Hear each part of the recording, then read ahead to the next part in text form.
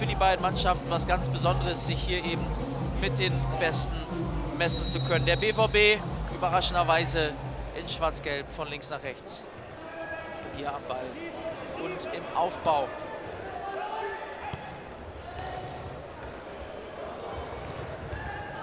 Man glaubt ja, hier müssten bei den Namen ja richtig Fury Cup Titel aufeinandertreffen. Es ist ein einziger. FC Bayern München, Jahr 2010. Der einmalige Cup-Gewinn.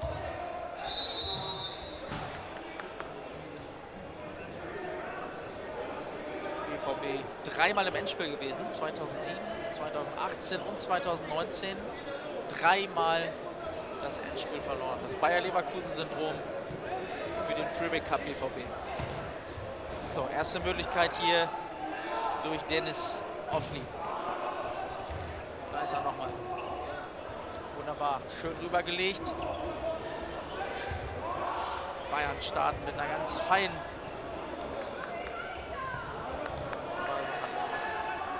BVB kontert. Starkes Dribbling hier vom quirligen Fritz Fleck mit der Nummer 7, dem Blondschopf. Den könnt ihr euch schon mal merken. Feiner Techniker.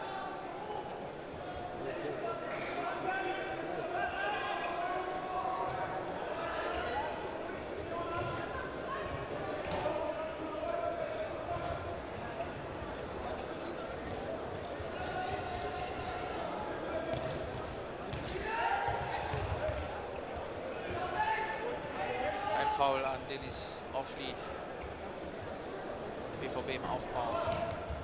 Jonas Feddersen.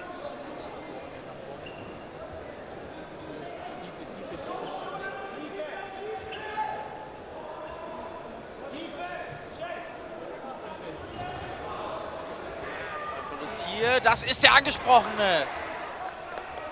Fritz Fleck.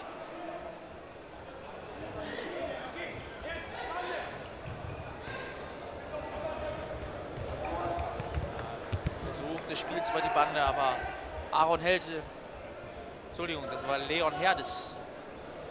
Nicht die Eins im Tor, sondern in diesem Spiel Leon Herdes, der Keeper beim BVB.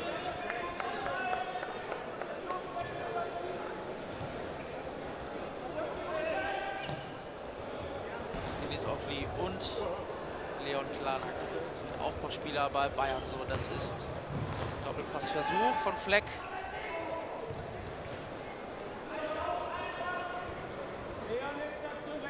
Behauptet, Aufbauspiel BVB da und den langgewachsenen Kapitän Jonas Feddersen.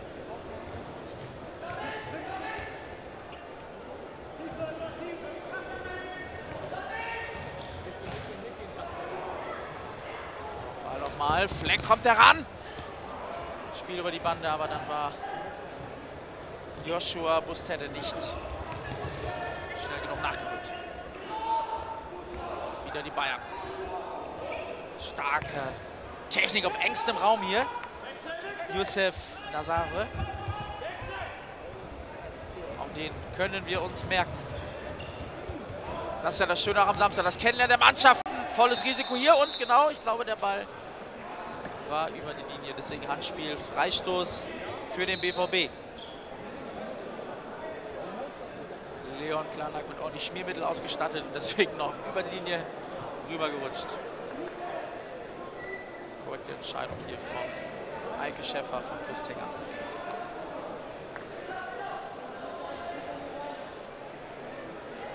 So, alles frei. Schussversuch von Tim Degener. Der 6 beim BVB.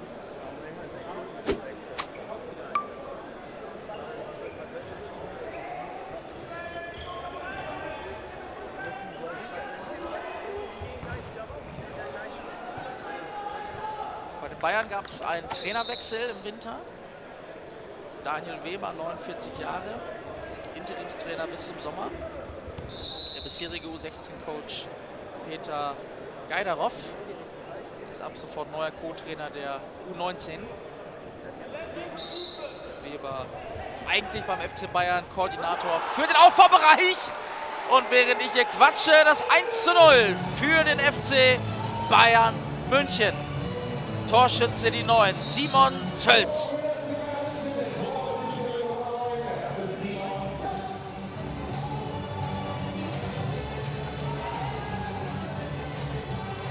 BVB versucht, möglichst schnell zu antworten, aber Blaise Ucha setzt sich hier nicht durch. Ballbesitz Bayern München.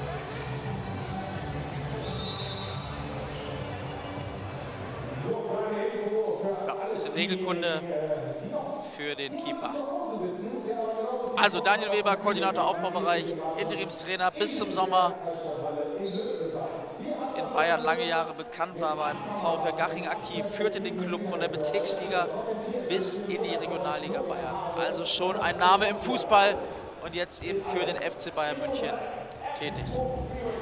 So, weiter Abwurf hier, nächste Offensivaktion durch Tim Degener. Nächste Freistoß für die Bayern.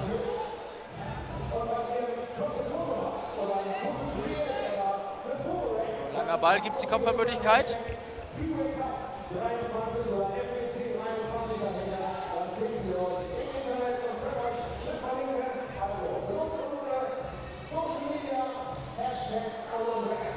Nächster Ballverlust von Degener.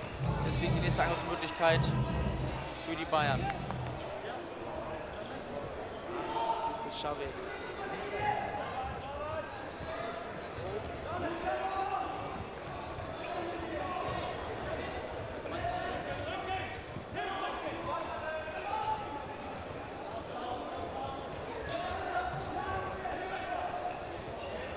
Sechs Minuten noch auf der Uhr, weiterhin 1 zu 0 Führung für den FC Bayern München.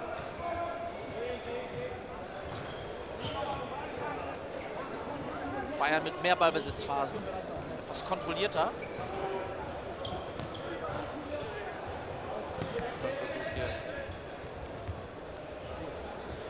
Blockwechsel jetzt beim FC Bayern München.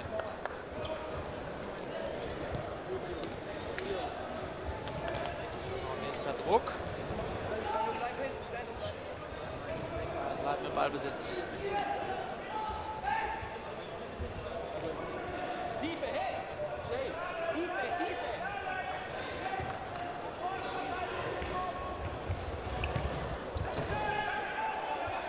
Geklärt, Blockwechsel beim BVB. Die Zeit ganz gut nutzen. In Dortmund jetzt der erste Block wieder vom Beginn des Spiels auf, unter anderem mit dem Kapitän hier im Bild, Jonas Feddersen.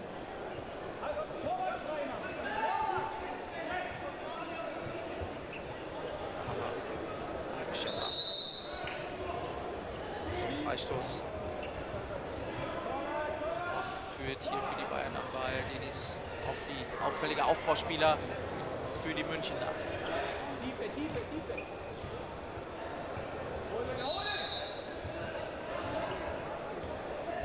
Denis Offli übrigens auch Nationalspieler für die U16 Deutschlands. Gerade im Trainingslager in Spanien gewesen genau wie sein Mannschaftskollege, der gerade am Ball war. Leon Klanak, auch er U16-Nationaltorhüter. So, Fehler im Aufbauspiel, jetzt große Möglichkeit und dann stark reagiert. Vom BVB-Torwart Leon Herdes.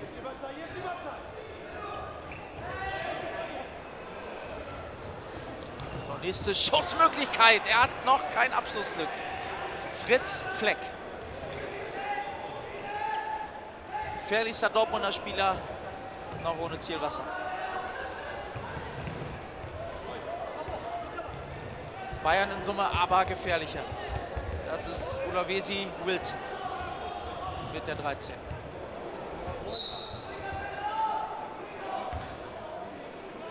Freistoß. BVB. Da haben wir Dortmunds Keeper Leon Herdes. Starke Paraden schon gezeigt hier, gerade im 1 gegen 1. Stark. So, Freistoß BVB. Pedersen, der hochgewachsene Kapitän am Ball. 16 Jahre jung.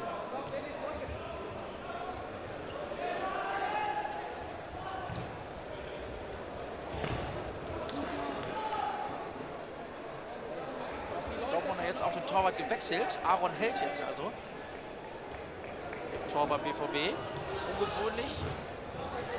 Das versucht hier wieder auf Fleck von Verlassen. Das auch für die Mannschaften ein erstes Rantasten, ein erstes Gewöhnen an die Halle, an die Gegebenheiten.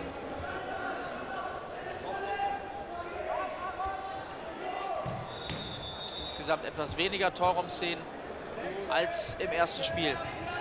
So, hier die vier Sekunden überschritten.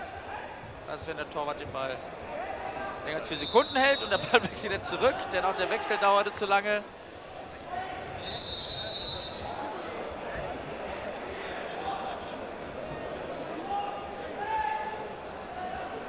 Alles geklärt.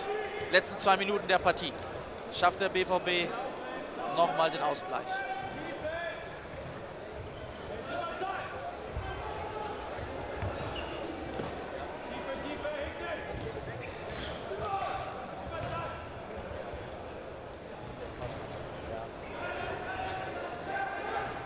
Bayern insgesamt ballsicherer.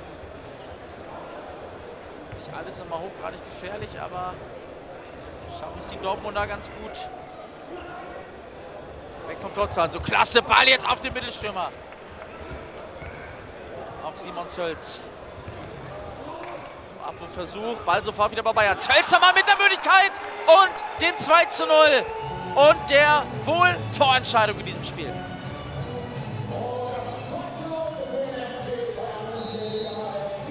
Verdient. Unterm Strich verdient.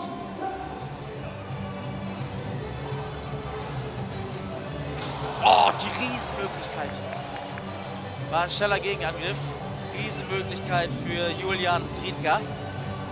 Zwei Meter den Ball übers Tor gespielt. So, die letzten 55 Sekunden der Partie laufen. BVB bräuchte jetzt den schnellen Anschluss, um nochmal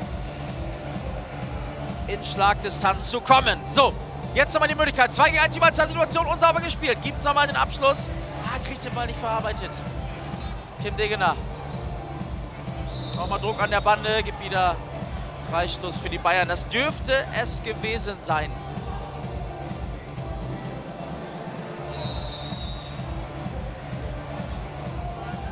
Vier Sekunden überschritten, Zeit ist wieder angehalten. Große Möglichkeit jetzt nochmal. Abschlussversuch geblockt. Julian Rittger. Zweikampf nochmal an der Bande. Dürfte Freistoß für den BVB geben. Ja, gibt es auch. 19 Sekunden. Es müsste jetzt das Tor fallen. Dann haben wir nochmal ein bisschen Musik im Spiel. Ah, wieder geblockt. Die Bayern sind aufmerksam. Die Bayern gewinnen dieses Spiel verdient. jetzt nochmal die feine Klinge. Nein. Auch kein Handspiel. Tim Degener reklamiert dann noch. So lange Abwurf nochmal. Aber der Ball geklärt von Diego Nambia. Das war's. Der FC Bayern München gewinnt mit 2 zu 0 gegen Borussia Dortmund. Wir sind gleich wieder da.